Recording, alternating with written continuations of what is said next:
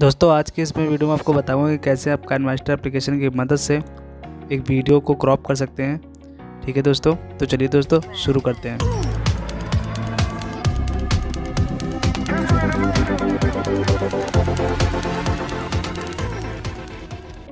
दोस्तों, आपको KineMaster application को ओपन कर लेना है। ठीक है? और ओपन करने के बाद दोस्तों, आपको सिंपली जाना है डाउनलोड में जाना है। डाउनलोड में सबसे पहले आपको एक पिक्चर लेनी है, एक फ़ोटो लेनी है। ठीक है? और उसको लेने के बाद दोस्तों आपको यहाँ पे इसको, ये फ़ोटो लिया मैंने और उसके बाद दोस्तों आपको जाना है लेयर में, ठीक है? आपको वीडियो फ़ाइल लेने के लिए मीडिया से नहीं लेना, याद रखिएगा आपको। सबसे पहले पिक्चर डाउनलोड करके आपको मीडिया से एक पिक्चर यहाँ पे लाइए और उसके बाद आपको लेयर में जाइए और लेयर में जाने के बाद जो आपको वीडियो क्रॉप करना है, वो आप यहाँ से, कोई से जो आपको करना है वो चलिए मैं वीडियो ले लेता हूँ।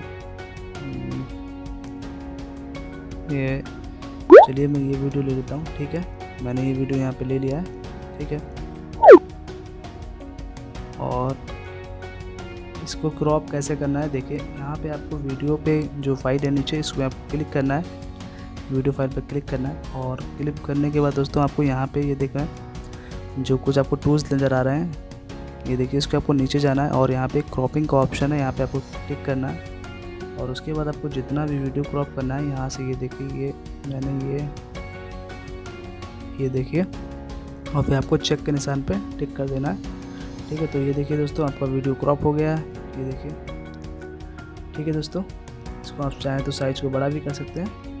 ये देखिए, आपको जहाँ लगाना है, वहाँ आप इसको एडिट कर सकते हैं। ठीक है, ये देखिए, मैं प्ले करके दिखाता हूँ। ठीक है दोस्तों तो कैसा लगा दोस्तों आपको हमारा वीडियो? अगर वीडियो अच्छा लगा तो प्लीज़ वीडियो को लाइक करें, चैनल को सब्सक्राइब करें और अपने दोस्तों को शेयर करें। तो चलिए दोस्तों मिलते हैं अगले वीडियो में। आपका दिन शुभ हो। टेक केयर दोस्तों।